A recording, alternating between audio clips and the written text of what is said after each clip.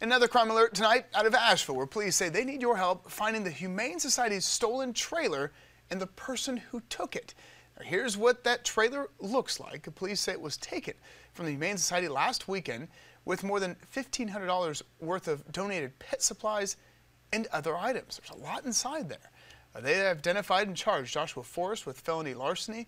He's described as a white man with brown hair, brown eyes, and has a tattoo of a spider web on his forehead. Well, if you see him or the trailer, pretty distinctive feature there for the trailer and the individual, go ahead and call Asheville Police.